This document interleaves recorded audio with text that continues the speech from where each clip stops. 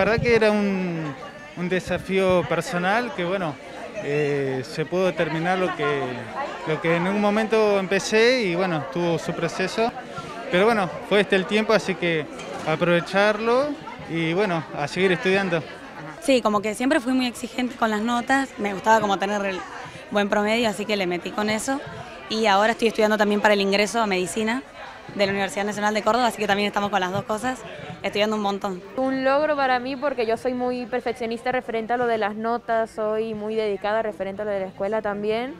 Eh, y me parece bien también porque pensé que no me iban a dar nada por haberme quedado todos los días haciendo tarea y eso. Es una, una hermosa sesión por el cual se le entrega a los mejores promedios de los chicos de la escuela secundaria de Rawson una distinción y un, obsequio. Sabemos que años anteriores no se han realizado por el tema del COVID, así que es sumamente importante el reconocimiento a estos alumnos que han llevado su, sus estudios de manera virtual, de una manera totalmente distinta a la que estaban acostumbrados, adaptarse a la forma nueva de estudiar.